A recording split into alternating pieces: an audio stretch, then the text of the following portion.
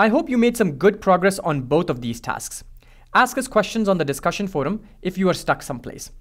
In this and the next video, I will highlight some common constraints related issues that students in this class have been having.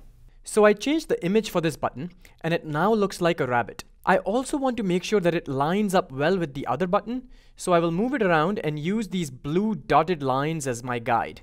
There. Now, to add constraints to this button, I can hold down the control key on my keyboard and add a constraint to the top space. After that, I can add a constraint to the trailing space also. Now I want to make sure that the leading space here is equal to the trailing space here. To do that, what I can do is select this constraint and drag out the utility area. And under size inspector, I can see that the value of this constraint is a constant 30 points. So I can now select the other constraint, the trailing space constraint, and change its value to 30 also. Finally, for the stop button, let me scroll down a bit so we can see it properly. I can add a constraint so that we center it horizontally. And I can also make sure that it is pinned at a constant distance away from the bottom of the phone. Okay, let me run this project and see how it looks.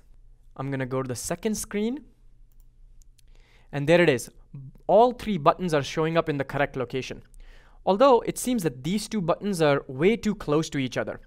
I will let you play around with the leading constraint here and the trailing constraint here so that these two buttons look evenly spaced on the screen.